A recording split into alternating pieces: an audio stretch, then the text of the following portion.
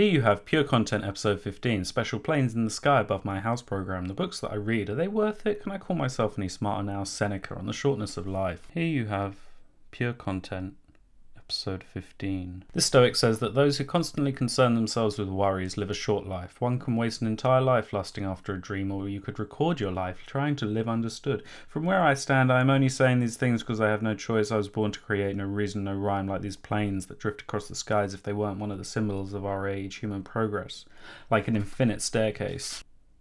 The books that I read, are they worth it? Can I call myself any smarter now? Seneca on the shortness of life.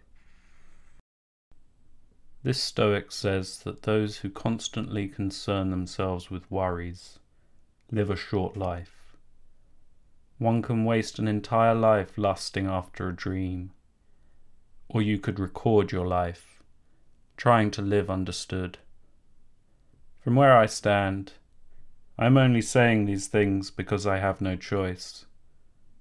I was born to create. No reason, no rhyme. Human progress, like an infinite staircase, cannot stop. But I can stop. But I cannot stop. Because that staircase cannot stop. I manipulate.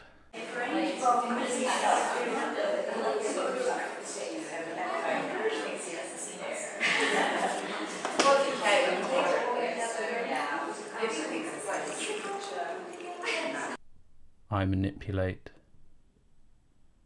seeing the world as I do,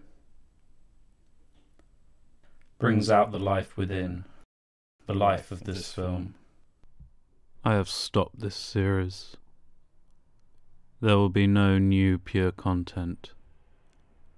Not until some magic happens that provides me with a mandate to talk mockingly over random shots that I have taken.